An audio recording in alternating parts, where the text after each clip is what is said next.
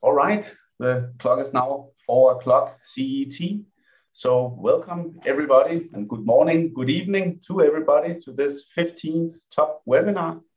On behalf of the organizers, it's uh, our great pleasure to present our host, Professor Mattias Schevenels from KU Leuven, who will, uh, who will host this session. So Mattias, please. Thank you, Niels. So first, I would like to thank the organizers for uh, inviting me to, to host this session. We have um, five talks today by Jamie Guest, Patrick Farrell, uh, Yuan Liang, Eduardo Fernandez, and Victoria Laghi. So thanks to the speakers for uh, willing to share their work in, in this webinar. Um, so the, for the five presentations, we have 12 minutes for the presentation itself, followed by a discussion, Q&A for three minutes. And then in the end, after the last presentation and the last Q&A, we will have 10 more minutes for further discussion.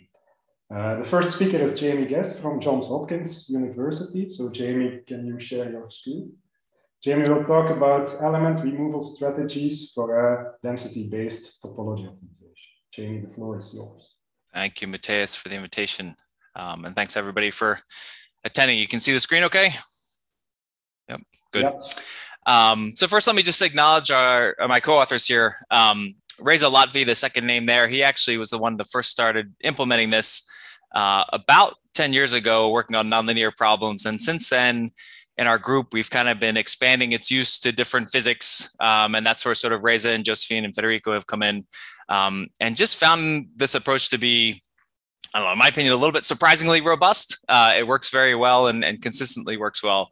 Um, and as you'll see, it's not really a new idea, but we finally sort of have applied it to enough problems and gained enough confidence. We thought we should bring it back to everyone's attention, and and hence the the CMAME paper.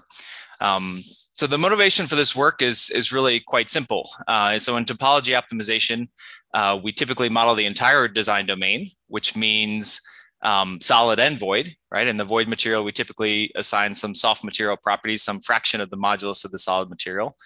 Um, and we do that because it's easy right? We don't have to remesh and it's very easy for material to reappear in those void elements, which may happen during topology optimization. But of course, as you know, you look at the final product and what's actually manufactured. Um, we don't manufacture the voids, right? So why are we modeling them? Um, we're essentially maximizing the computational expense by modeling these soft material regions that don't hopefully play any part uh, in the in the component's response. Um, perhaps more problematically, for certain problems, you know, if we really push nonlinear behavior or complicated flow problems, um, the optimizer can take advantage of that soft load path, right? So even though it's soft material, it can take advantage of the soft load path by, you know, creating a, a, a, load transfer mechanism that, again, even if it's soft, it may play some role in the response. Or in fluids, we may have some artificial seepage through a very low permeability material, right? That won't exist in the actual final project in that product. Um, and so and, and so that's that's one issue and also in terms of things like nonlinear problems we may actually get instabilities in low volume fraction, low stiffness elements that may derail our solver, right? So it may derail our optimization. So for example, under geometric nonlinearities, large deformations, we may get things like element distortions. Um, so obviously folks are aware of these problems. People have proposed different schemes. The one that really caught our eye was this paper by Bruns and Tortorelli back in 2003, where really simply they restrain the degrees of freedom of void elements. Okay, so and we we really just looked at this idea, leveraged it, tried to improve upon it, and looked at the impact of modern filters and projection methods on this idea, and that's what we'll show today. Um, so the two kind of enabling concepts that allow this method to work, or the, or the reason this method works, are one are our interpolation models for stiffness. Uh, obviously, with things like SIMP interpolation, when we have low volume fraction elements, we have low stiffness and that stiffness drops more quickly with the higher the penalty in the the higher the exponent in the SIMP model, right? So as we go towards zero, the stiffness drops rapidly to zero. Um, not only does the stiffness drop rapidly, the derivative of stiffness drops rapidly, right? So you can see for all these different curves, as we approach zero, the slope of that curve approaches zero more quickly too. And that's important for what we're about to show on the next slide.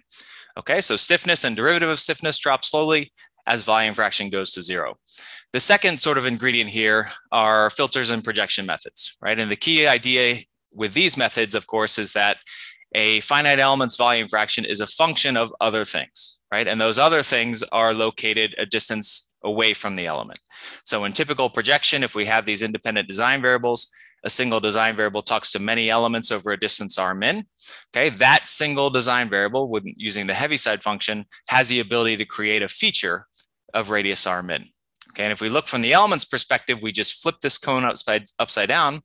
An element, therefore, is a function of several design variables, a distance r min from it, right? So what that means is, again, design variables, you know, not in the finite element space can actually deposit material on that finite element. And those, those are the two primary concepts that get this to work. To see that in action, um, we can just look at a simple, simple beam, right? So this is just a cantilever beam where the bottom half of the beam is solid material, the top half is void. If we're, you know, let's say it's close to is close to void, let's say it's some very negligible stiffness.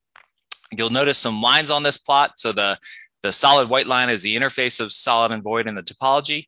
The dashed lines are just a distance r min from that interface. Okay, so the radius of the filter and projection.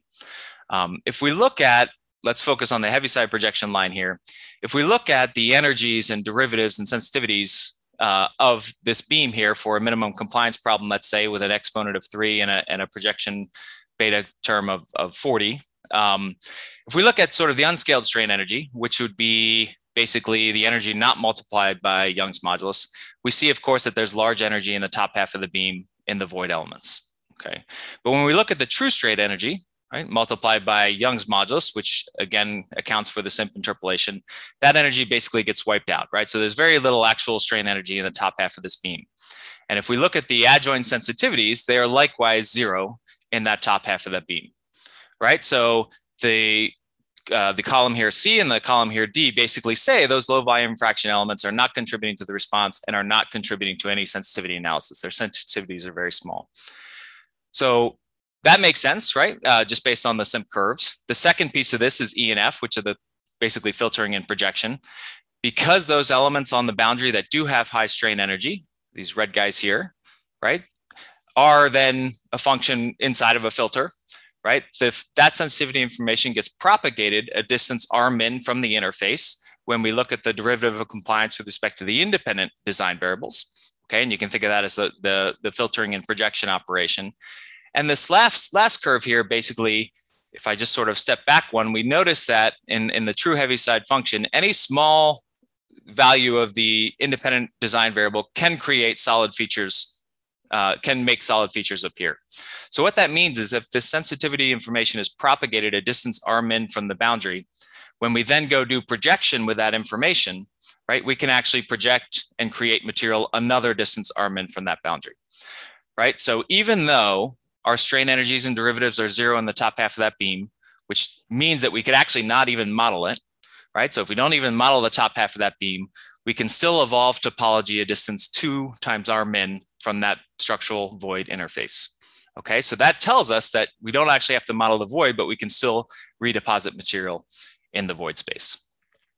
So how do we implement this? It's super simple. Um, so we set some threshold value that we, we call structurally insignificant. Um, in the paper, we try a couple different values like uh, volume fractions of 1%, 5%, 10%, things like that. Um, and so we do a quick check, and if any element volume fraction is less than that threshold, we set it equal to zero. Okay, and if we set it equal to zero and, and we don't set it equal to rho min, we set it equal to zero. And so then what that means is the stiffness is zero. We don't have to assemble it into the global stiffness matrix if we don't want to. Okay.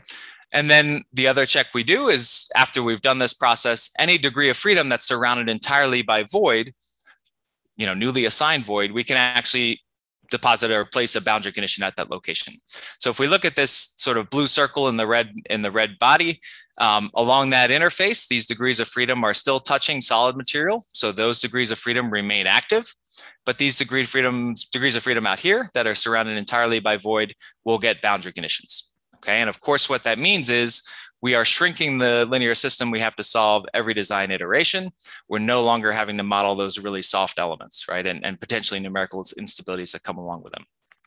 Um, we fully recognize that we are adding a discontinuity into a gradient-based optimization problem, right? That's never a great thing to do. Um, but shockingly, it works remarkably well and is, is, very robust in all the problems we've considered. Um, so just to show you a few of those, and there's lots more details and examples in the paper. Um, this is a simple minimum compliance problem, a 2D minimum compliance problem. And in all these plots, you'll see kind of a reference design, which means we're not doing this approach. Okay, and then you'll see a couple examples with different threshold values. So rho t equal to 0.01 means volume fractions less than 1% are assigned void, and we can Im impose boundary conditions on those elements if we'd like. Um, you see all the way up to 10%, we get basically the same topology. Um, this curve here and active is the number of elements we're actually modeling as the design evolves. Of course, that decreases in time and decreases about to the volume fraction of the final design. Okay, and as we remove them, we are removing degrees of freedom associated with them, right? So the, again, the size of the system we're shrinking, uh, uh, we're solving shrinks, and that's why you see this bend in this computational expense curve, right? So the cost per iteration uh, is decreasing as we start to remove these elements and, and apply these these these uh, um, boundary conditions. Um, visually, these solutions are the same. The objective function is also about the same. Okay, see very little difference in the objective function. And of course, the cost per iteration is decreasing because we're solving smaller and smaller systems. All right, bigger effect in 3D than in 2D. Um, that's minimum compliance. We expect that to be really well behaved. This is an example of an eigenvalue problem, maximizing the natural frequency. Again, we use different threshold values and try this approach. We see visually similar topologies. They're not identical. You'll see here a slight difference in this bar compared to the reference design. However, the objective functions are very similar. The frequencies are very similar, right? Again, more importantly, we see really dramatic savings. This is now an eigenvalue problem where we're depositing boundary conditions, right? So we're shrinking the eigenvalue problem, which is more expensive to solve, so higher potential payoffs here. Um, you see this jagged curve. Um, this is not an objective function convergence plot where we would not like to see that. This is just the number of elements we're actively modeling. So when we see these drops, it means we're assigning voids and applying boundary conditions. When we see these spikes up, it means material has been redeposited into the void and those boundary conditions have been taken back out, right? We've, re we've removed them. So we see the algorithm is indeed adding boundary conditions and then removing them as material is redeposited into the void domain.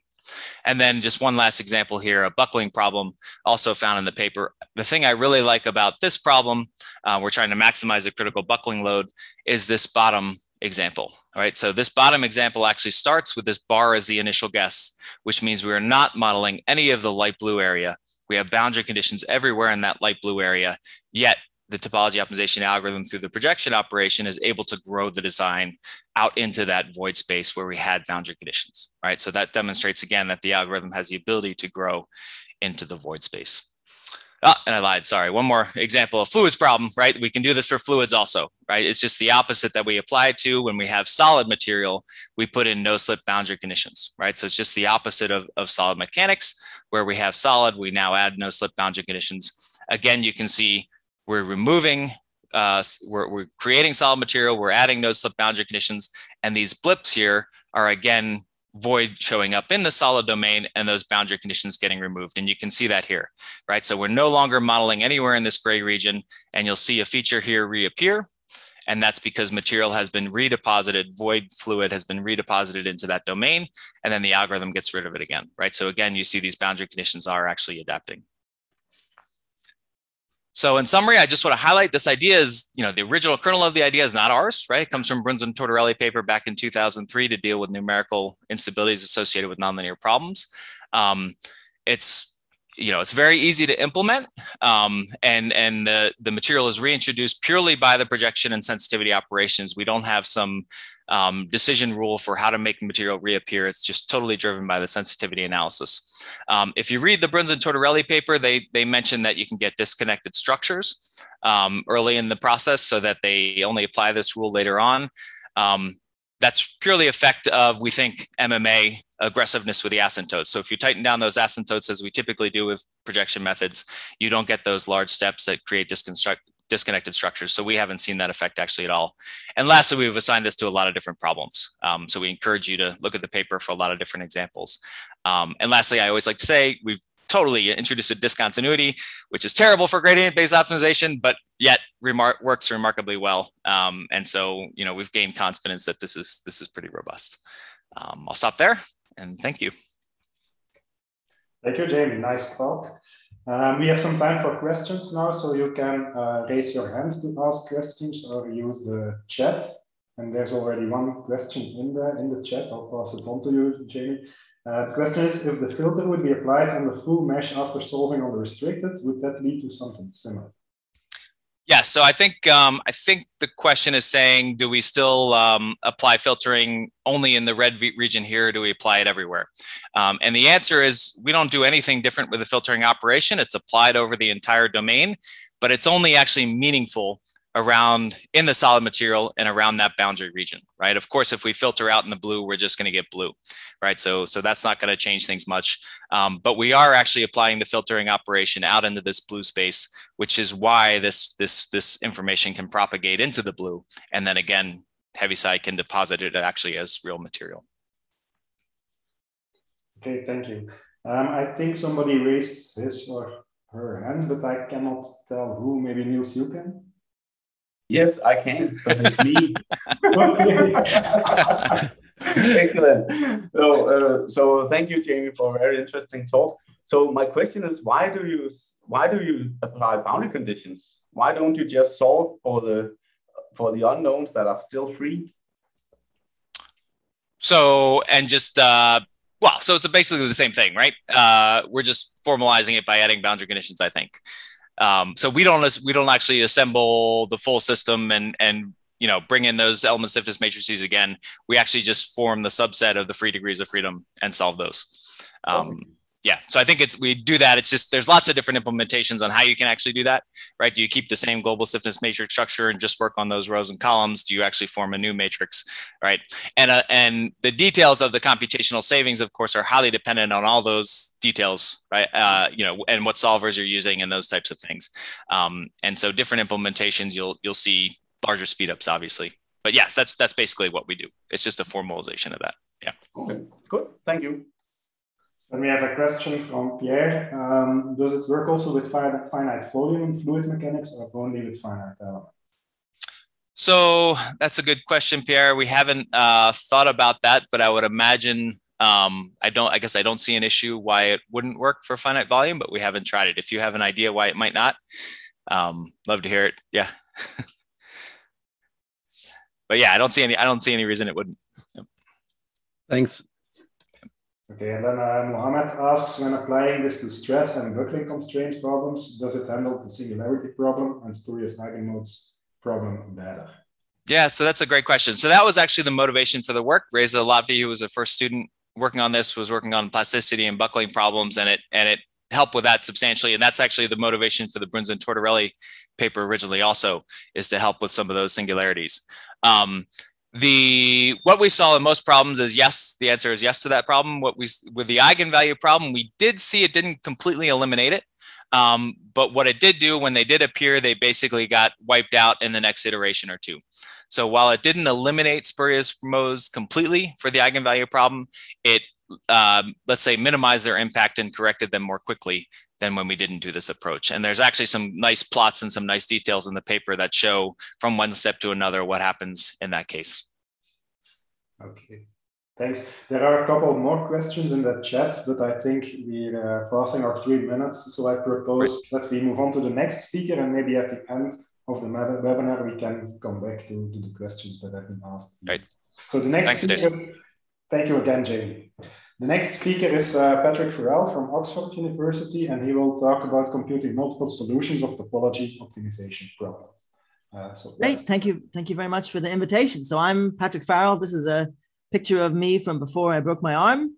In the middle, there's Yanis John Papadopoulos, my PhD student who just defended his PhD thesis on Friday, incorporating this material, and uh, Thomas Surowiec in Marburg.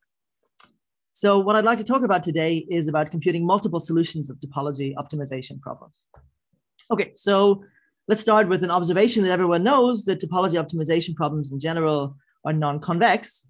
And as a consequence of that, they usually support multiple local minima. If you initialize your optimization problem from a different initial guess, you might get a different locally optimal solution that may be better or worse for the objective functional, may be better or worse from the point of view of aesthetics or manufacturability, and so on.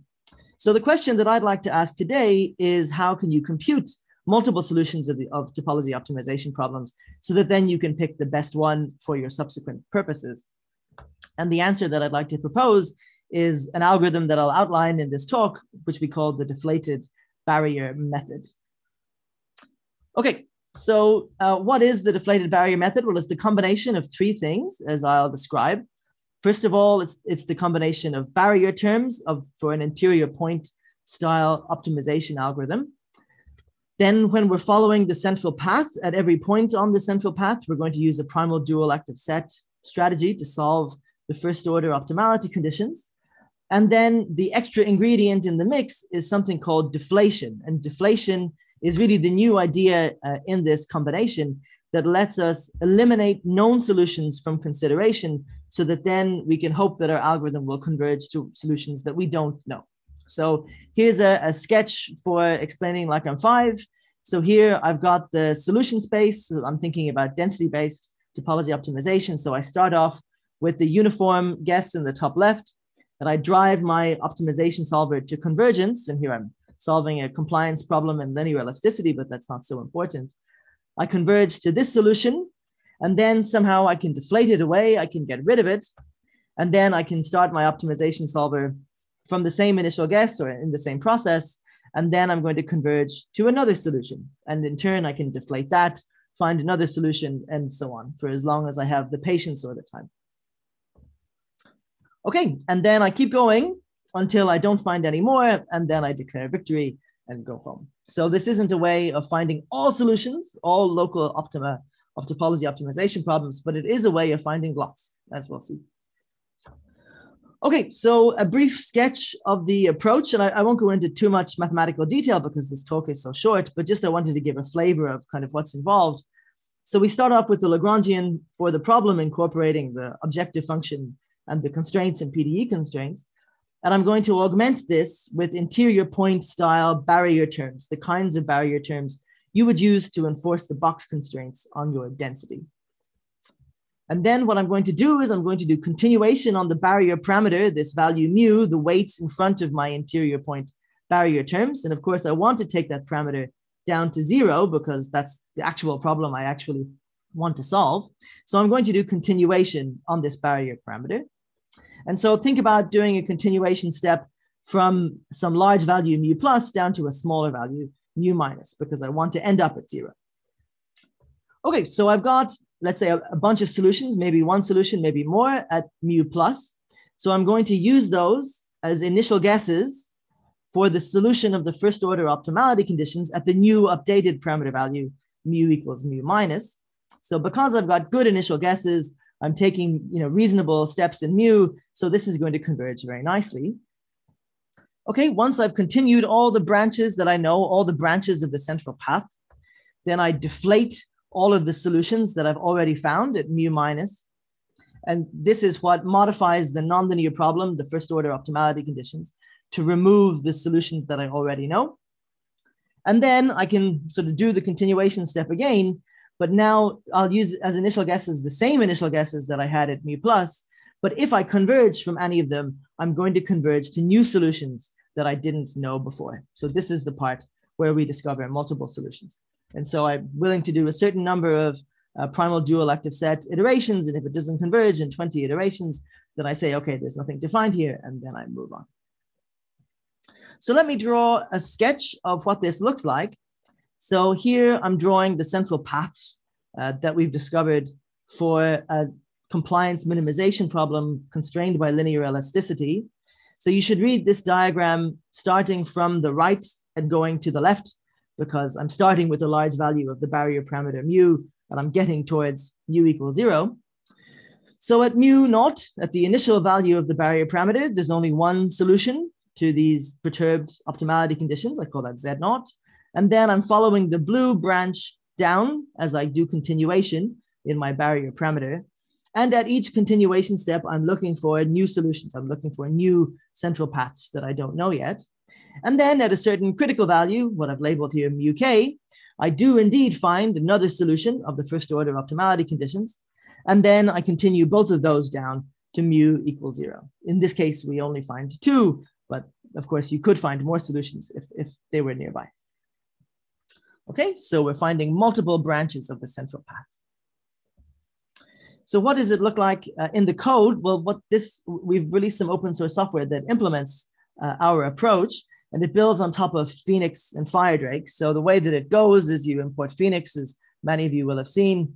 You construct an object that constructs the mesh, defines the function space that you want to use for your finite element discretization, writes down the Lagrangian and boundary conditions, and then you say, please apply this deflated barrier method uh, to it. So it's quite generic and quite useful. And, and, indeed, we've applied it both to solid and fluid problems, but you could apply it to other uh, density-based topology optimization problems also. So let's see it in action. Well, first of all, let's just give a little bit more details about this compliance minimization problem that I've been describing. So as most people do, I've been using the solid isotropic material with penalization model. Um, and as uh, for the filtering approach here, we've gone for the addition of a Ginzburg-Landau energy that gamma converges to the perimeter of the design. But of course, you could combine this approach with other filtering approaches. This is just what was most convenient for us. And when we go through solving the first order optimality conditions and doing the continuation in the barrier terms, we do indeed find two um, solutions of this optimization problem, both of which are locally optimal. There's another uh, very well-known benchmark topology optimization problem in fluids that supports multiple solutions. So if you go back to the original paper of Borrvall and Petersson, they actually observed the multiple solutions there, which I found really interesting. That's what intrigued me in this issue in the first place. So they proposed this problem where we're trying to design the pipes that minimize power dissipation in Stokes flow with inflows on the left and outflows on the right, with a constraint that the fluid can only occupy one third of the domain. And with our approach, so the way that Borrvall and Petersson found the multiple solutions of this problem, of course, was by initializing with different initial guesses. But we can do this now in a systematic manner, where starting just from the uniform uh, initial guess that has uh, density one third everywhere, uh, we can systematically find both solutions, both the two independent straight channels, each joining one inflow to one outflow, as well as the monkey wrench configuration that joins the two inflows and forks at the outflows, but has a thicker pipe in the middle and so loses less power. And so the, the double-ended wrench is the globally optimal solution for this problem.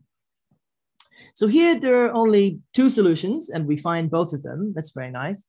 But what about, could we construct a topology optimization problem where there are lots of solutions? So let's take the Borrvall and Petersson benchmark problem and try adding some holes in the domain. So here now I've added these five holes where I'm just removing them from the design domain. So I don't solve any PDEs on these. There's just no possibility of, of putting in a density of one there.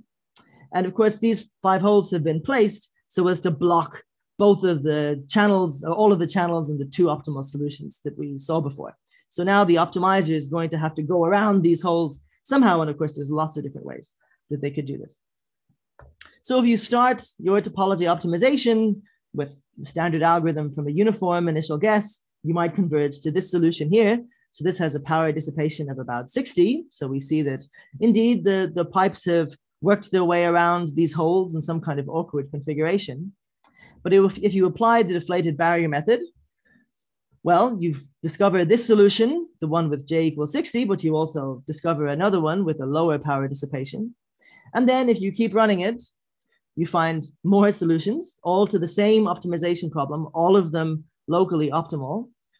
And you find more solutions, and you find more solutions and more solutions and more solutions. So indeed, for this optimization problem, we were able to find 42 uh, local minima uh, before we ran out of time and said, that's enough, let's declare victory and go home. And here we've arranged them in decreasing order of the objective functional. So the best one found is at the bottom right, and the worst one found is on the top left. Now, although we've we found 42 of these, we haven't found them all because, of course, this system has a Z2 symmetry. And so you would expect the reflection uh, top to bottom uh, of any optimum to also be an optimum. And so we, we're missing some of these. So we know that this search isn't exhaustive. So you can't find them all, but you can find a lot. Okay, and so let's consider a similar analogous problem in three dimensions. So we'll consider a 3D discretization. We're just running this on a workstation, so about 3 million degrees of freedom, but you could go bigger if you had a supercomputer. So here I'm going to consider a topology optimization problem subject to Stokes flow with four inflows, four outflows, and I'm going to remove five cubes in the middle of the domain, again, sort of carefully placed to block where the pipes would naturally want to be. And I'll set, as usual, a volume constraint on the domain. And indeed, as you might expect from the 2D solution, there's lots and lots and lots of different ways that the pipes can bend and warp to avoid the obstacles that we've placed in front of them. So there's one, here's another, lots more besides, they just keep coming. Indeed. And so what I should comment here is that, uh, so here we're solving it somehow an all-at-once system when we take the first order optimality conditions. This is somehow a, a, simultaneous analysis and design type of approach. So the, the key step in getting this 3D example to work was the design of a good preconditioner for the optimality conditions. So that was a, a big chunk of, of John's PhD thesis, but we're able to design a good preconditioner for this problem. And so we're confident now that if we had a big enough computer, you could indeed run this with much, much finer resolution in three dimensions. Okay, so that was what I wanted to say. So uh, the paper describes a strategy for computing multiple solutions of topology optimization problems. It's not the only one, but it's, it's one that uh, we like and we, we think is effective.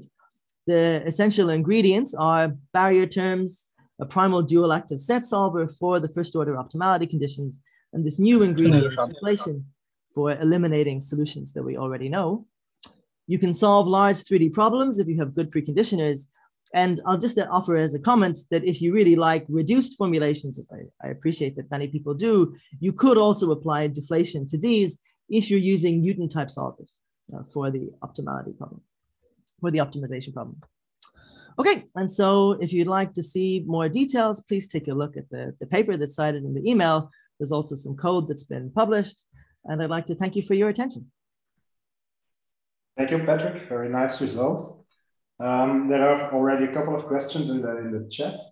Uh, the first one from Mohamed Tarek. How does the undeflated version of the algorithm with the augmented Lagrangian method compare to something like Ipopt, which I believe uses a Lagrangian method, but not augmented? Um, tell you the truth, it's been a few years since I read the paper about Ipopt, and so I, I couldn't comment exactly on the technical uh, details. So I, I, can offer one important uh, contrast, which is that if you're only looking for one solution, and you're doing an interior point style algorithm, you don't need to follow the central path so closely, right? So a lot of what Ipopt does is approximately solving the first order optimality conditions in the continuation, but you don't really need to, to get so close to the central path. For us, because we're going to deflate the solution that you found that really needs to be the solution of the perturbed first order optimality conditions. And so we need to do more work in tracking the central path because we actually want to find the point on the central path. So essentially we're doing more Newton iterations at each continuation step than interior point, than Ipopt would do. So th there's a, a, cost associated uh, with applying the algorithm, even if you're only looking for one solution. Yeah. Then two questions from Federico Ferrari. The first one is how is deflation actually performed? And the second one, how, flexi how flexible is the method with respect to parameter continuation, for example, uh, increase of SIMP uh, penalization? Uh, I'll answer the second one first. I, I think it's totally flexible. I, I think you could do continuation or do the continuation in the barrier terms for a, a certain physical parameter that you care about and then continue the solutions of the first order optimality conditions in the physical parameter afterwards, I think that would be very effective. I, I, think that would work just fine. Or indeed, you could combine them in any order you like. Do some continuation in the barrier term, do some continuation in the parameter dimension, do some continuation in the barrier term again. Um, as for the, the first question, sorry, can you read it out again, please? How is deflation actually performed? Yes, so so this is something that um, I was wondering if I would have time uh, to discuss, and I, I thought that I didn't, but maybe I did. Uh, so deflation is extremely easy to implement. So essentially what happens is that we take the first order optimality conditions and we reformulate them as a semi-smooth system of equations in the standard way. And then, so you can think about this as primal dual active set is the Newton method for the, this system, this system of equations for finding the root of this equation. And when we deflate, what happens is that we multiply the, the residual of the system of equations we're looking for the roots of by a scalar, a carefully chosen scalar that blows up as your iterate approaches the root that you already know. So essentially, the way the deflation works is by introducing a singularity in the system at the solution that you already know. And under very mild regularity conditions, you can prove that this will mean that Newton type methods won't converge there again. And what it actually looks like in practice, in, in the code, uh, what happens is that if you were doing a Newton type method, you'd solve a linear system, then you do a line search. Uh, the, where deflation comes in is in between those two steps. You solve the linear system exactly as you do now. Before you do your line search, you do a little bit of post-processing to have the effect of, of solving the deflated system, and then you do the line search with the updated uh, search direction. Yeah, okay, thank you. I propose that we move on to the, to the next speaker now, uh, which is Yuan Liang from uh, Dalian University of Technology. So Yuan, can you share your screen? And thanks again.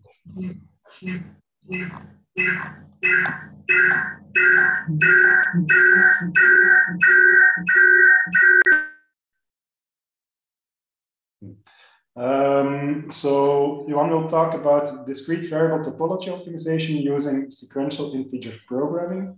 And this talk is based on, on three uh, publications um, with different applications of, of uh, the same approach. So Yuan, the floor is yours. Okay.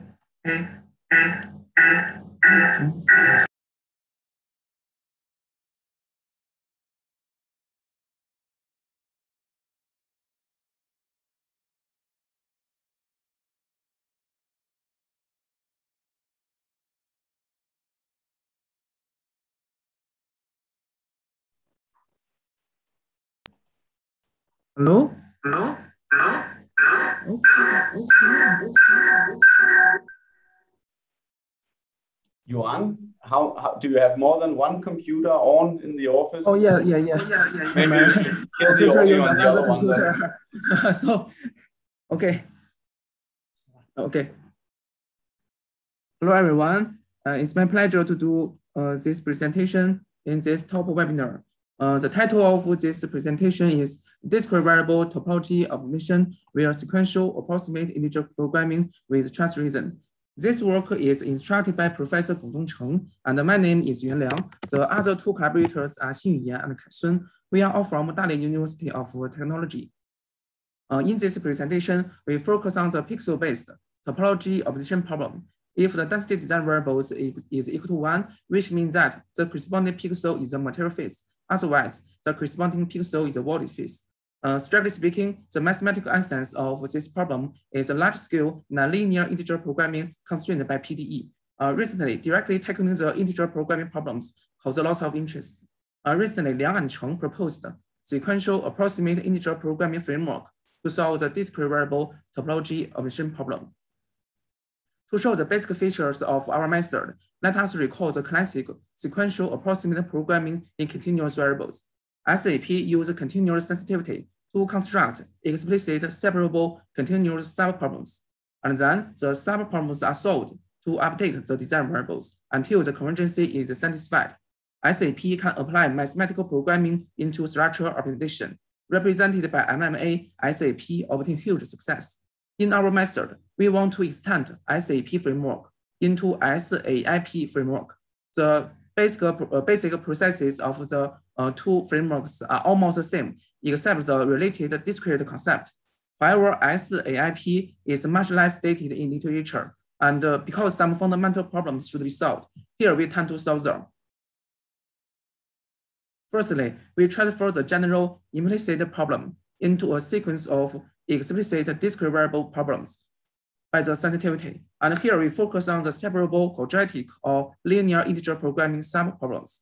And then we proposed a canonical relaxation algorithm to solve the integer programming problems. This algorithm can transfer the primal discrete optimization into the dual optimization problem that owns the excellent mathematical properties. As a result, the KKT condition of the dual problem is analytical. So the numerical cost of solving this KKT condition is small. And due to the separability, the dual gap can be tend to be zero, which can guarantee the solution quality. At last, we use different move limit strategies to restrict the variation range of design variables. Now I want to show some, uh, I want to show, show some results of the ISIP method. First, uh, our method is as efficient as with continuous variable method, so it can solve very large scale problem. For example, the method can solve this sim 3D play, uh, plate problems that owns around 80 million uh, degree of freedoms. And the method can obtain the manufactured design without any post-processing and can obtain the complex Stephen, Stephen. Besides, the method is uh, flexible in handling the constraints. For example, the method can, can solve the minimum weight design with seven displacement constraints. Besides, the method can directly solve thousands of local infill constraints. I think it's amazing that the discrete variable method can solve so many constraints.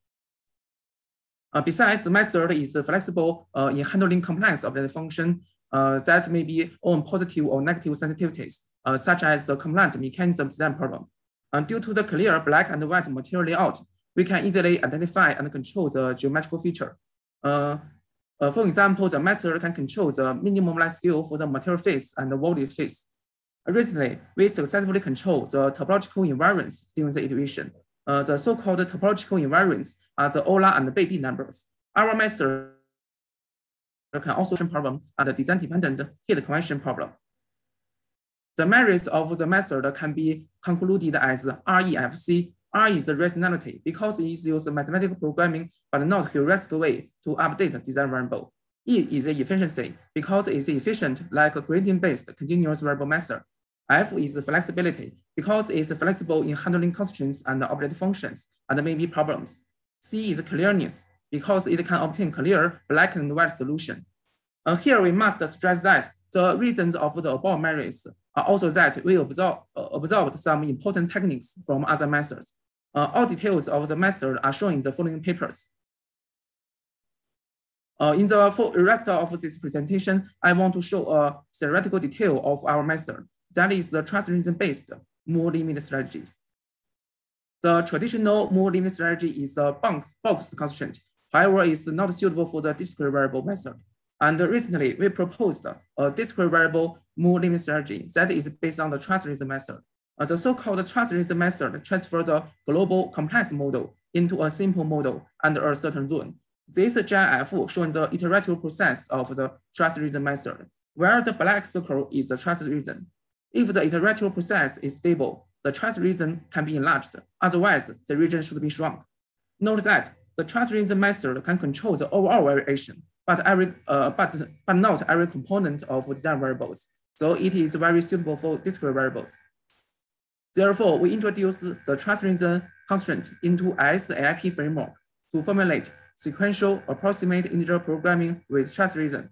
Uh, uh, to be spec specific, the trust region constraint that can restrict, restrict the variation range of design variable by the p-norm is augmented into the integer programming subproblems.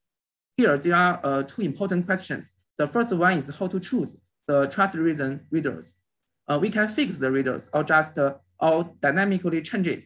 Another question is how to solve the above uh, trust region-based integer programming subproblems. Uh, first of all, under continuous variable, the trust region constraint is nonlinear and maybe non-differentiable. Actually, uh, solving the trust region model is not a trivial task.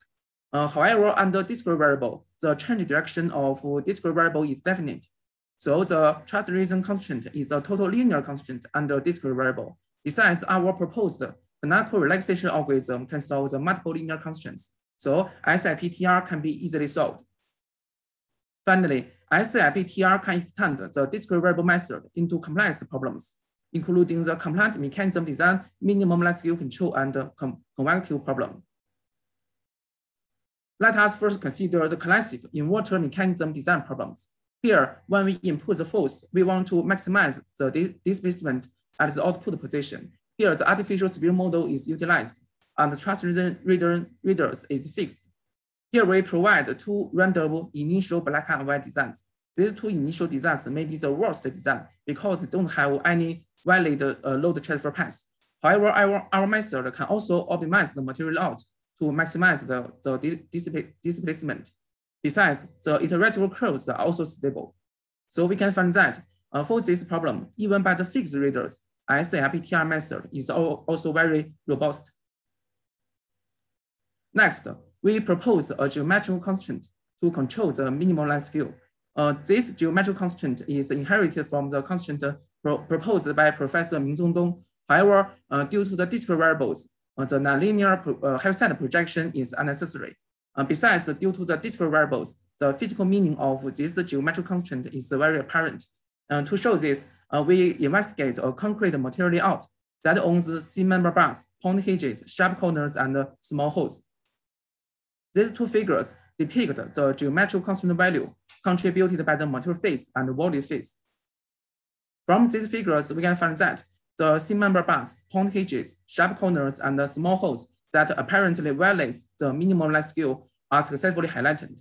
So we believe that if the geometric constant value can be reduced, uh, the minimum line scale can be controlled. So when we introduced the geometric constant into SAIPTR, we can successfully eliminate the point hinges. Here R denotes different requirement of the minimum line scale. From these figures, the red circle can freely move in the structure and the blue circle can freely move around the outer surface of the structure, which proves that the minimum line scale for the material phase and the volume phase are all, uh, are, are all satisfied. The reviewer of this our this paper commented that these are the first hinge-free compliant me mechanism solution using integer variables and formal mathematical programming. And this work also gives us inspiration that we can use black and white design to model the geometrical feature. And this geometrical feature may be related to the manufacturable constraints. And we can uh, uh, change it to the mathematical formulation and use our method to solve it. Next, we discuss the simplified convective heat transfer design problem. For this 2D rectangular design domain, there is a heat flux boundary, uh, which means that the thermal constantly input into the structure. On the one hand, we want to put the high conducting material to efficiently transfer the thermal by conduction. On the other hand, uh, the cooling fluid flows in the volley phase. Uh, besides, the direction of the cooling fluid is perpendicular to the design domain, as a result, the interfaces between the material phase and the volume phase uh, can also transfer the thermal by the convection. So the interfaces can be modeled by the Newton laws of cooling. Here, H is the convective heat transfer coefficient and is uh, considered to be a constant in our paper. In a word, this problem should consider both conduction and the convection. However, due to the discrete variables, we can directly identify the convective boundaries. The optimization problem is to minimize the average temperature on the heat flux boundary.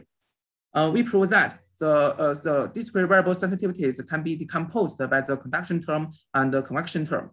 And we use the filtered sensitivity to construct SAIPTR subproblems to solve this problem. The iterative process and the iterative curves of the objective functions are shown here. Note that the boundary, any boundaries between the black element and the white element is the convective boundary. So this problem is uh, highly dependent with the design variables, and our method can successfully solve this problem. Uh, for this problem, we found a very interesting phenomenon. When we use a same sensitivity filter radius for the conduction term and the convection term, we find that the point hinges or the checkerboard pattern cannot be totally eliminated. However, when we use a larger sensitivity filter radius for the convection term, the point hinges of the checkerboard pattern can be totally eliminated. And when we solve this problem by, use, uh, by using a high order finite element model and without a sensitivity filter, the checkerboard pattern also appears.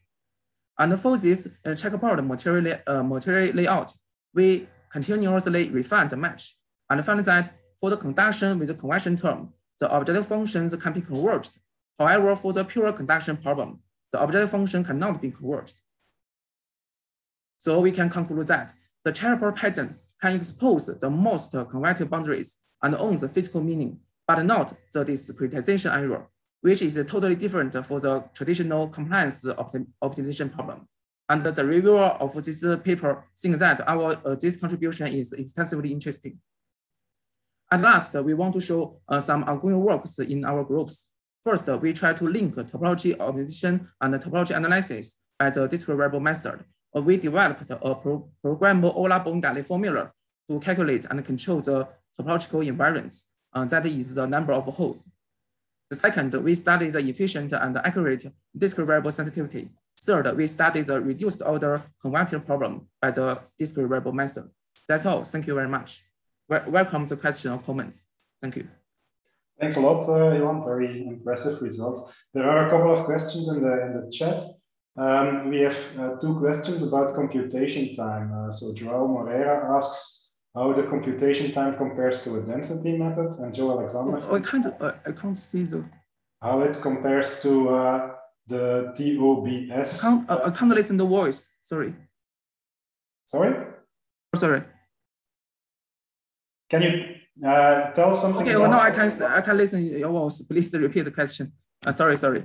Can you tell something about computation time? Okay, computation time. Yeah. Okay. Uh, because our method can uh, take advantage of the separability and uh, uh the the numerical efficiency is very excellent. Actually, it's uh, uh, just as efficient as a continuous variable method. I think it's uh, competitive with uh, maybe MMA method uh, I think this is a, a, to, a diff di totally difference between the other discrete variable method, such as branch and bound method. Mm -hmm. Because it can use some very good uh, mathematical properties of the topology optimization. For example, the separability. Okay. So it's comparable to MMA applied to a density-based approach. Yes, our method is also density-based, sensitivity-based. And um, do you know about the TOBS, topology optimization of binary structures method by Picelli? Okay, I know, I know, uh, I know his, his uh, How does it compare? We, we have uh, some uh, collaborations and uh, he used the uh, branch and bound, uh, bound method to solve the uh, discrete variable method. And we use the relaxation uh, algorithm to solve the discrete variable method. And we all, uh, uh, the, the same things is that we want to uh, use the discrete variable method to solve lots of things, maybe the fluid problems or uh, complex problems. Uh, okay. And then uh, a last question of uh, Mohamed Tarek, how sensitive is the algorithm to the trust region size? So. Okay, uh, for lots of uh, for lots of problems, we can use the fixed trust region radius. Uh, is enough. Uh, however, for some problems, we should dynamically change it. For example, uh, for the compliant mechanism design, if the uh, stiffness of the output spring is small, uh, for example, maybe uh, 0.001, and uh, for this situation, the point hinges may be very uh, severe. And uh, if we use a fixed trust radius, the iterative oscillation may be appeared. And uh, we can use the, uh, we can dynamically change the trust radius uh, by the uh, maybe the merit functions from the mathematical programming and can uh, relieve the iterative oscillation. Okay. Okay, thanks a lot. Very nice. So uh, let's move on to the next speaker, which is uh, Eduardo Fernandez from the University of Liège in Belgium. Um, so Eduardo, can you share your screen? Yeah. Yes. So Eduardo will talk about geometric control and topology optimization. Uh, so first on analytical uh, relationships for minimum length scale, length scale in the robust approach, and then uh, on an application of topology optimization to large scale additive manufacturing, accounting for the deposition nozzle size. So Eduardo, uh, please. Uh, thank you very much, Mattias, and hello everyone. So we were invited with Pierre to present these two papers that were mentioned at the beginning. Uh, but I'm going to start first uh, with the motivation because the analytical relationships for imposing minimum length scale was the motivation uh, from the work that uh, relate is related to nozzle size constraint in topology optimization. So first I'm going to introduce the, this paper. I'm going to invert the orders uh, of how they were listed. So I'm gonna introduce briefly the method that we propose here and the need that we have uh, to uh, develop these relationships for imposing minimum length scale.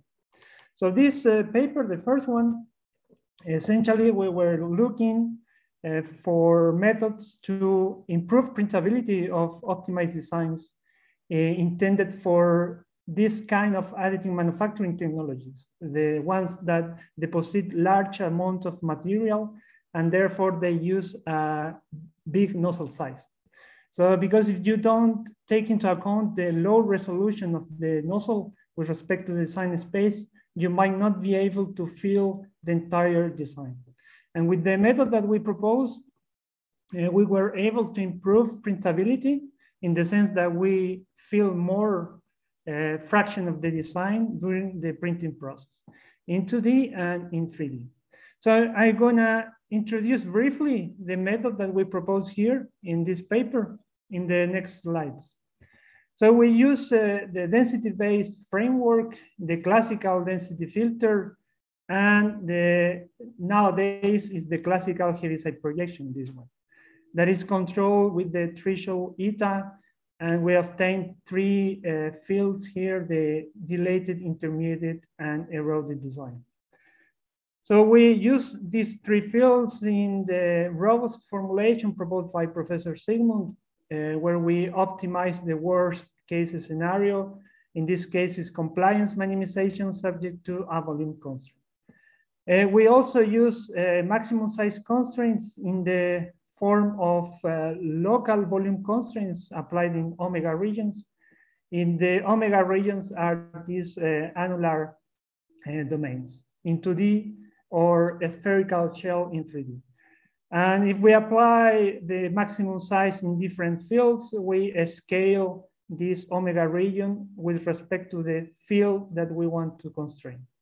So in this paper, we present a, a parametric study where we show results when we uh, constrain the eroded design the intermediate design and the dilated design, all of these are compliance minimization problems. The only difference where we apply the maximum size. And the um, condition that we retain in our method is the second one. So if you apply compliance minimization subject to a volume constraint and maximum size constraint in the intermediate design, you, you generate uh, uh, structures in the intermediate design composed of bars. And the eroded design is also composed of bars, but the dilated design is merge the bars. If you have parallel bars, more than one, you will merge them. So that's uh, the interesting aspect that we used in our paper here. So I'm gonna retain these three designs in the next slide. And those are shown here. Yeah, here also highlighted three sections ABC that are illustrated here. So uh, in the middle, we have the intermediate design that is constrained in size, and therefore we have two bars that, that are separated because of the maximum size constraint, and it's also the case in the eroded design. But because of the dilation projection, we merge those bars, and that's what we interpret as a material bed uh, for example, in the one process, wire arc additive manufacturing. So here the, the design intended for manufacturing would be the dilated one, and the user-defined geometric uh, input would be the size of the deposition nozzle, this one. So everything fine up to here, I think the method is quite simple to understand, but however, there are some practical difficulties when you try to implement this. Uh, one of them is that if you don't select properly the projection parameters, you might get some bars that cannot merge, be merged in the dilation projection, or you might get some bars that overlap in the dilation projection.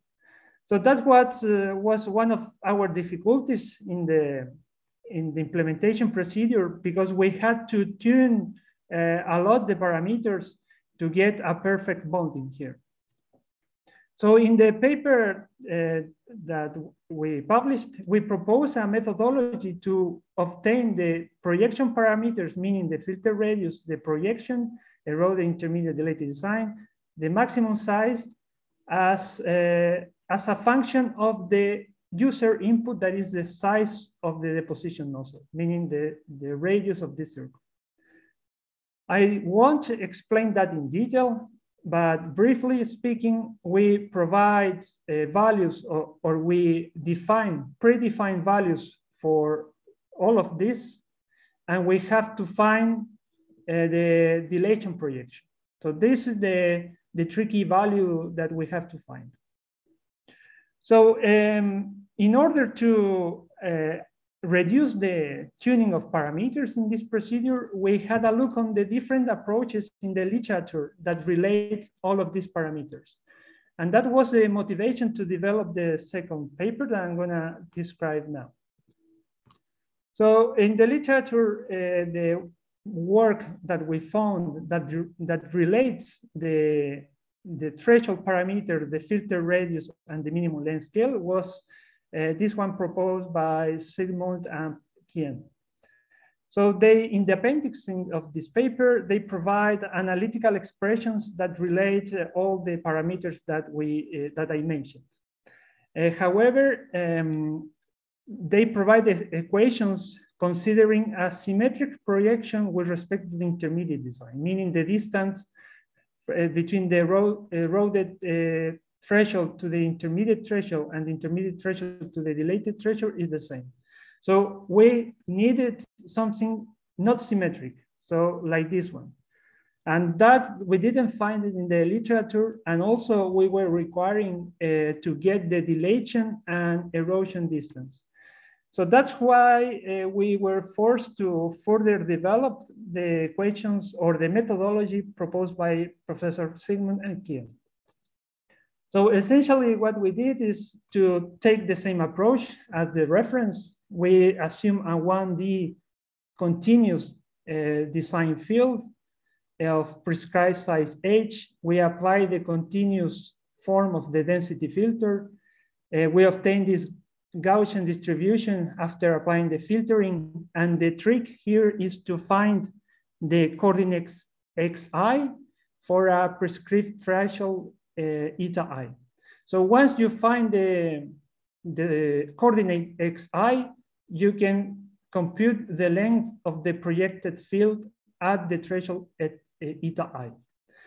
So you have to work a little the, the equations here uh, by hand and you will get a set of equations that relate the minimum length scale, the filter radius, the projection threshold, and the erosion threshold or the dilation threshold. So you, you get a set of equations for the solid phase, for the void phase, and uh, with a range of uh, applicability for each one. So we also, so to validate this set of equations, just to be sure that we were in the correct path, uh, we also compare the solution uh, with the discrete uh, approach that is proposed by Wang. So here, essentially, we apply the same procedure, but now in a discrete 1D design space. So here we discretize that by elements. We filter, project, and with, mean, uh, with different threshold values, we get this Gaussian distribution that represents the filter field. This is for the solid phase, this is for the void phase. So we compare both and we got a almost perfect match. So we, with that, we validate that the at least the analytical procedure uh, was correct. And uh, of course, for the comparison between the analytical and the numerical one, uh, we use here a, a, very refined discretization for this discrete approach in order to mimic a continuous field. That's why we have a almost perfect match here. Um, this is the classical graph that you find in the literature related to minimum length scale. This is the threshold projection, the, yeah, the uh, erosion threshold, the minimum length scale, the filter radius. So that's already found in the literature, but this is what is new in the literature. So here we provide a graph that relates the minimum length scale uh, with the erosion and dilation threshold. And here you can see the, the effect of defining a non-symmetric projection with respect to intermediate design. Because if you define a symmetric projection with intermediate with respect to the intermediate threshold, you get uh, this uh, um, highlighted in uh, yellow this zone. So meaning that the minimum size of the solid and the void phase are, are the same. So our contribution would be all points that are outside this uh, line. You, you can impose different sizes uh, for the solid and void phase. And also, we, as we were requiring the erosion and dilation uh, distance, we also provide the graphs or equations, or and also we provide MATLAB codes if you want uh, to get to get a fast uh, result of the projection threshold that you would like to implement. So we also discuss a little the scope and limitations of these uh, approaches, the analytical and numerical one of course, the and what we observe among many sources of error, that the most significant one is the rounding error. So if you have a very coarse discretization, the analytical and numerical approach won't give a very good approximation. And of course, if you start to refine the mesh, uh, as in this case, you reduce the, the rounding error. This is like the most dramatic case that we, we found. And also uh, what is interesting to note is that um, we developed the equation for a 1D from a 1D design domain, continuous and discrete. Uh, but we also compare the numerical approach using a 2D circle or a 2D bar. So we filter this bar and we measure the size for different thresholds. So what we observe is that uh, the 2D bar and 1D case give very similar results. As you can see here, this is the filter field. You can see the Gaussian distributions uh, very similar. But if you consider the 2D circle, for instance, uh, you have a significant difference. So the conclusion here is that if you want to use the set of equations we provide from that are uh, that are derived from a 1D design domain, if you want to use those equations to impose the minimum thickness of bars or the minimum thickness of plates in 3D, so you can have a very good approximation. But if you want to use those set of, set of equations to impose the minimum size of cavities, you might expect some uh, differences uh, with respect to our formulation of that is based on 1D. So we also validate that on, on 2D and also with the same conclusions. If you refine the mesh, you get a, a control on the error. And at the end, that was the motivation of this work, we validated uh, the set of equations and procedure with the maximum size constraint um, that um, was the main uh, interest for us. So I don't have uh, time, I guess, for uh, conclusion. So uh, here I finish my presentation and thank you very much for your attention. Thank you, Eduardo, for a, for a nice presentation. Um, I don't see questions yet in the chat, or there, but somebody is uh, raising his or her hand. Niels again. Niels, please. Niels is applauding, but I He's have applauding. Okay. uh, other questions? Yeah, I have a question on on page five or six. Um, and first of all, thank you for a great presentation. Uh, Maybe yeah, there? if I look at uh, page five, uh, page five, uh, yeah, if you look at the shape on the top left, uh, on, on that corner, it's kind of, the bar is not very straight. So it's like a curved. Uh, maybe it's best if I can annotate. Uh, there? this one, Oh, us. Okay. Yes. could you explain why this is happening? And uh, Um, yes, I, I think I think it, it is related to the minimum size of the void phase. Uh, uh, I think uh, because as the minimum size of the void phase is significant, it's not possible to get a sharp angle in the connection of two bars. Uh, uh, I think that's uh, that's the reason that uh, curved sun and gray elements around this this area and of this zone. Yes. I think. Yeah, that makes sense. Thanks. Okay, um, I think we should move on to the last speaker uh, in order to end up more or less in time. Uh, so uh, thank you again, Edwin. The last speaker is uh, Vittoria Laghi from the University of Bologna. She will also focus on um, large-scale additive manufacturing, in this case, wire, wire and arc additive manufacturing. And the focus is on topology optimization or the optimization of the topology, but also the printing orientation of, of these elements. So Victoria, the floor is yours. Oh, sorry. Thank you for the presentation. So I'm Vittoria Laghi. I'm a postdoc fellow at the Structural Design Department at University of Bologna. And today I'm going to present you the simultaneous design of topology and printing orientation of elements produced with arc additive manufacturing. So it's pretty much linked with the kind of what Eduardo was presenting before. Um, so the application of metal additive manufacturing in construction has started a, a, decade ago, and the first explorations were limited to small connectors realized with high-powered uh, based printing techniques for architectural appealing structures. Uh, and only from 2017 on, a technology has been developed to scale up the printed parts up to the realization of real-scale footbridge entirely realized in 3D printed steel. This technology is referred to as arc additive manufacturing, acronym WAM. It's a weld-based additive manufacturing technology which makes use of off-the-shelf welding equipment mounted on top of large robotic arms, able to print pieces several orders of magnitude bigger than the printer itself, and up to several meters span and a few meters high.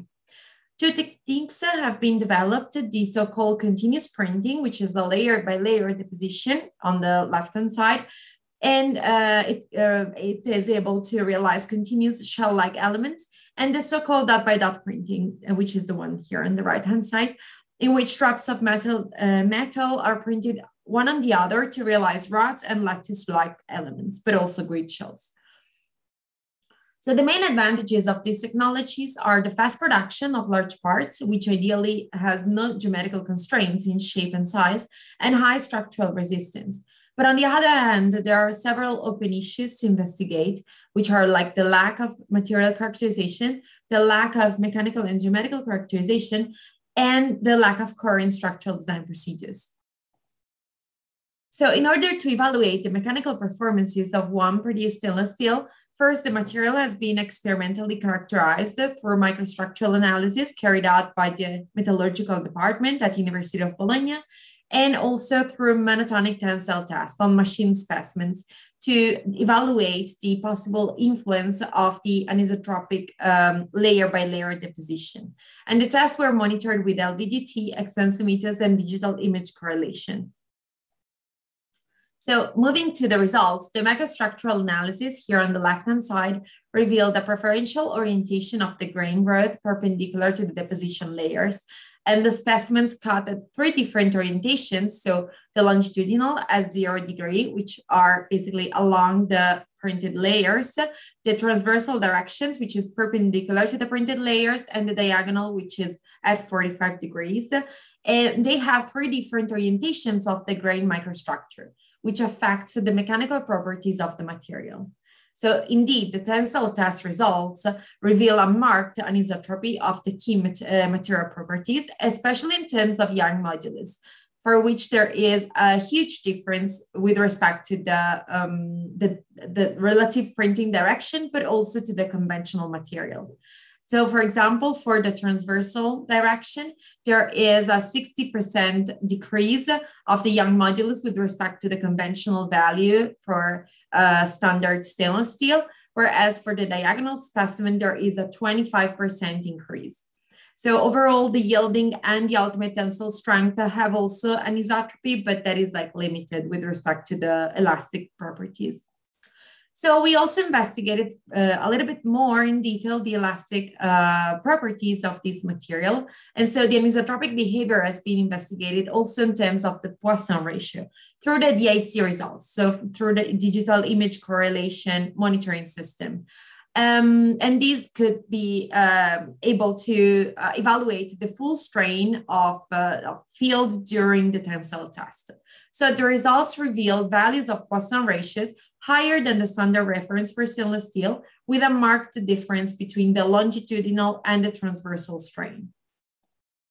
So from the um, experimental results, we actually um, found out the relationship between the Poisson ratios and the Young modulus, which is a symmetrical relationship as this one. Um, and uh, uh, actually, sorry, from the modeling, um, we actually found out that uh, the, the Young modulus and the Poisson ratios taken that the two perpendicular directions, so the transversal, which is perpendicular to the printed layers, and the longitudinal, which is along the layers, suggest an orthotropic nature of WAM stainless steel. So from these values, the compliance matrix was calibrated, accounting for this relationship. The resulting WAM orthotropic elastic model allowed to derive the angles with respect to the printing layers at which the Young modulus and shear modulus have maximum and minimum values. So the results show that the maximum values of Young modulus were at 42 degrees, plus, of course, each uh, 90 degrees with respect to the printing layer, while the maximum shear was derived at zero degrees and 90 degrees and both maximum values for WAM stainless steel, both young modulus and shear values were 50% to 100% higher than the standard value for the conventional stainless steel. So the WAM orthotropic elastic model could be adopted to engineer the WAM material and thus design different printing inclinations based on the needs of the structural members. So this is why we came up with the design of a two-dimensional structural elements for WAM, formulated uh, both in terms of, let's say, the um, problem dens the, the, problem in density and in printing direction. So it's formulated as a displacement constraint minimum weight prob problem by a distribution of the orthotropic material. So rho is, of course, the minimization unknown that governs the density. Oops, sorry. Um, and uh, sorry uh, and then theta is actually the unknown that describes uh, the relative printing direction. So we assume that the printing direction can be uh, changed but it's fixed along the fabrication of the entire element. So the entire element is printed with the same uh, printing direction. Uh, the variable that governs the orientation um, is, of course, the um, let's say an additional unknown with respect to the conventional the displacement constraint uh, problem and the conventional SIMP uh, method is modified to handle the orthotropic feature. So the optimization problem is solved by mathematical programming so adapting the uh, method of moving asymptotes the mma and at each iteration, the minimizer provides the updated set of optimization unknowns as the current values of the element densities and the value of the, of the additional variable theta, which covers the printing directions. And the adjoint method is used to, to compute the sensitivity of the controlled displacements. Uh, so the first design example here is the cantilever plate with concentrated vertical load at the extreme. And uh, first, uh, the optimal design uh, are derived for the three fixed uh, main printing directions. So the longitudinal, the transversal, and the diagonal, and compared with the conventional stainless steel. And then the simultaneous design of both the optimal layout and the printing orientation is computed.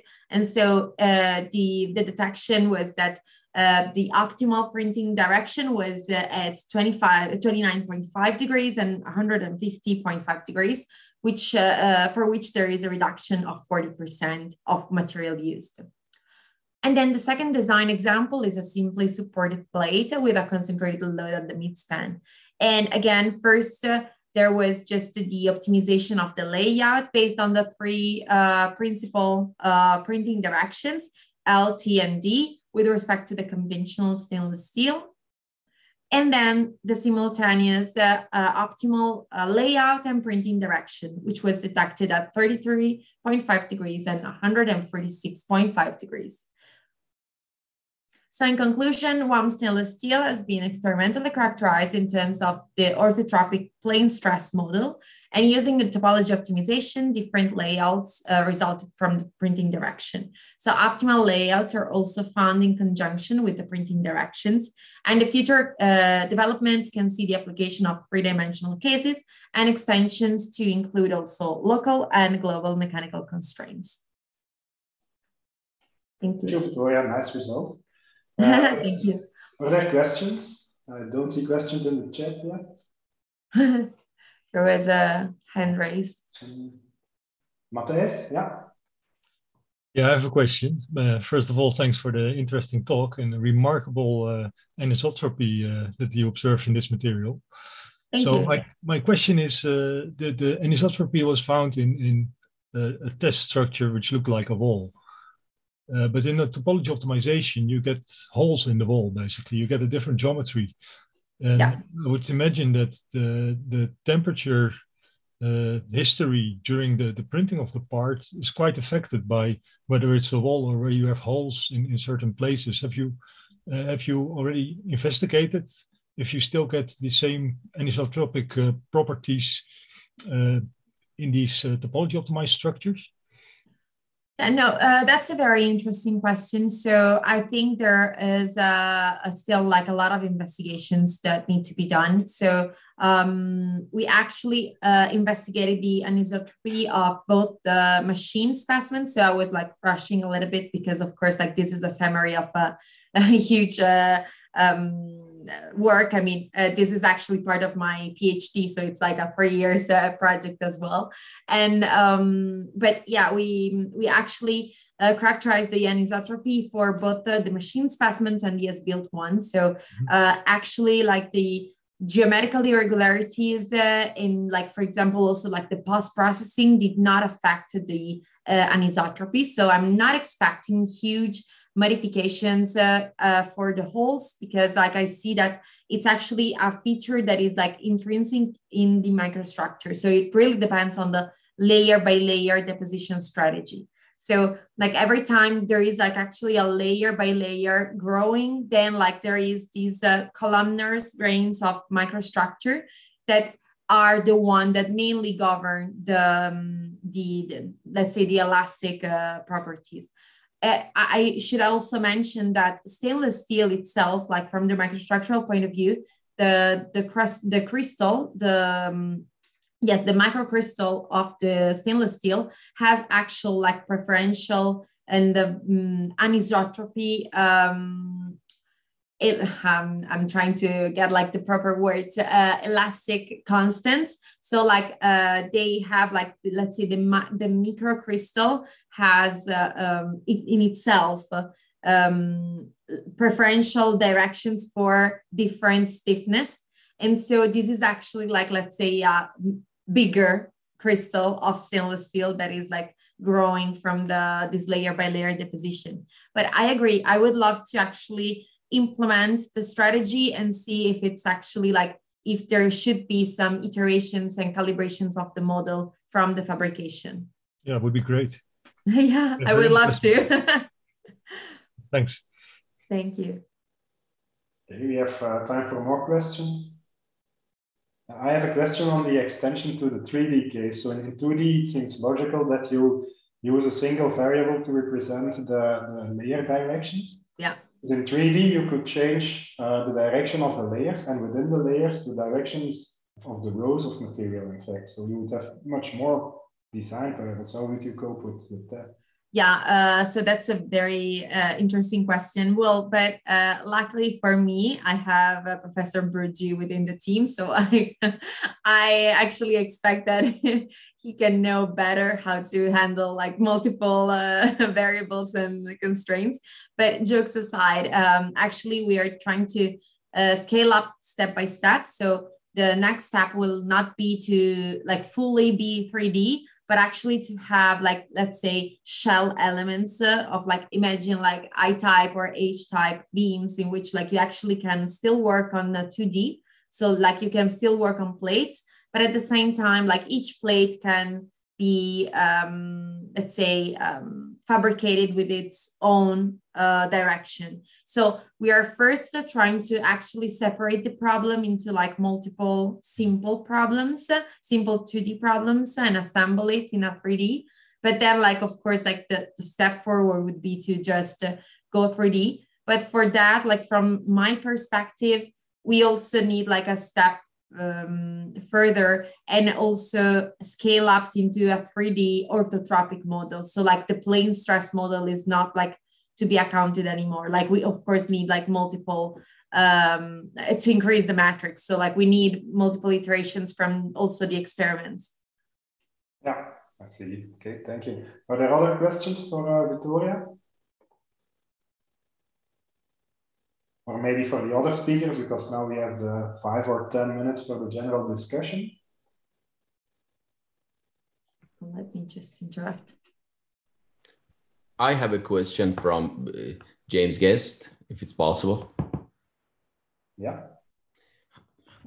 Thank you very much uh, for whole organization. And James, uh, did you solve any uh, space uh, uh, problem, op topology optimization problem when uh, the boundary actually the change of the boundary has a very huge impact in the actually the stress fluctuation and change of the stress in the boundary? stress uh like stress constraint kind of stuff yes. so good question yes. so only um so the only thing so obviously with the buckling problem we have stress represented and then in some of the plasticity work we, we did that's captured um but we haven't done it we haven't applied it to things like stress constraints um but certainly when we have sort of yielding develop on the surface right then the evolving boundary is going to change that behavior. Um, so so I, I, guess we haven't looked as closely as to what it actually did to the optimized design or the performance. We saw the designs change and things, but they we they sort of converged to solutions that we that made sense to us and and behaved you know with optimized better properties than than previous solutions we had. But I guess I haven't looked that closely at um, mm-hmm. How that tiny detail changed the evolution of the topology or something like that. Yeah. Oh, okay. Thank you. Jen. Thanks for the question, Alan. Okay, thanks. Other questions? Maybe I have one short question for you as well, Jamie. Um, so the approach that you propose seems like a very quick win because, as you said, it's it's easy to implement. Are there disadvantages as well? Sure. So, well, so my disadvantages is a discontinuity, right? Which makes me very, very uncomfortable uh, that we're changing sort of the boundary conditions on the fly. And, um, and, but what's, what has been shocking to me is that it has worked um, so well up to volume fractions of threshold volume fractions of 10 or 15%. Um, it may work higher. I just am very uncomfortable pushing it past that point, right? Because it just seems like it shouldn't work beyond that point. Um, but but other than sort of like the bookkeeping of you know having to track the artificial boundary conditions versus the real boundary conditions, and um, which I don't think is is a very big deal. Uh, I think to me the biggest risk is that you are adding this discontinuity. Um, and so I can imagine in some cases, although we haven't really seen it yet, that it could it could cause problems in that sense. Mm. Yeah. Okay, thanks. Claire, you have a question? Yes, thank you very much. Uh, I would have liked to ask a question to Mrs. Victoria Laghi. Uh, my, one, one question that is inspired by your design, maybe that the constructing layer by layer and plane by plane is maybe the right things because we have robots. Why not thinking about designing uh, curved surfaces by curved surfaces to have bended curves or bended plates of constructions? to have your uh, right orientation maybe everywhere in the system. What do you yeah, believe about um, that?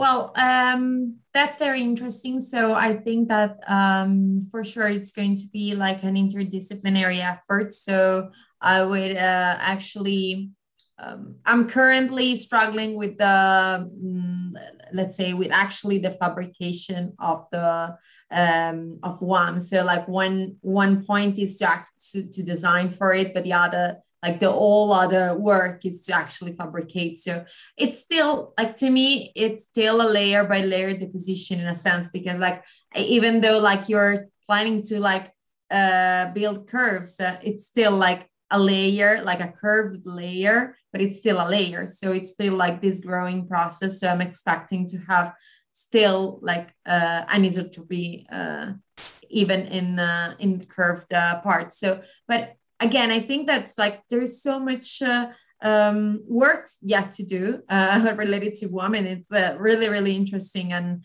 um, honestly, like I really um, enjoyed also like your presentation on your work because like I think that we should like investigate on such multiple layers of um, of problems that like there there might be room for uh, investigations on like many different aspects. So, so I totally agree. Like we should investigate and like have some trial and errors. Uh, also based on like the fabrication so like just not a simple design uh, process but also like an iterative process between design and fabrication to see if what we expect it's actually what it's going on in reality thank you very much let's no, do, let's you. keep in touch thank you professor yes i would love to would love to thank you so much and then niels also has a question maybe the last one Perhaps the last one. Well, first of all, thanks to all the presenters for some excellent talks.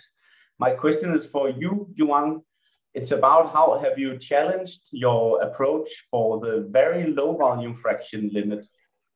Because I would imagine for like for BESO and other discrete approaches going to like single percent or two percent, uh, sorry, uh, limits of volume fraction could pose a problem so is this something you have looked into? We, try. Can try the uh, low, low, low volume fraction. We, we could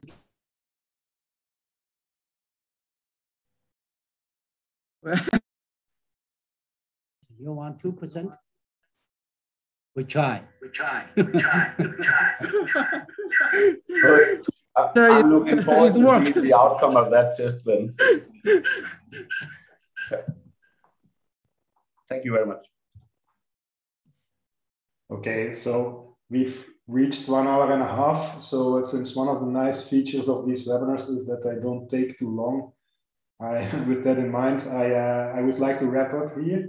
Uh, so thank you again to, to all the speakers for these nice presentations. Thanks to the organizers for inviting me to, to host this session. And Niels or Jun, I assume that one of you wants to close this session. Yeah, Mattias, uh, thank you for organizing the session today. I think it's uh, it is wonderful. Uh, all the talks are on time. The talks are interesting, and uh, also the discussion are very intensive. So it's really uh, fulfills the purpose of having webinar to to collect everyone. So thank you for your organization. Uh, our next webinar will be organized by Professor Yi Min Xie. So it will be on the same time next month. So welcome to join next time. And uh, with this, I conclude the session today. Thank you for joining. Bye-bye. Thank you. Thank you all. Bye.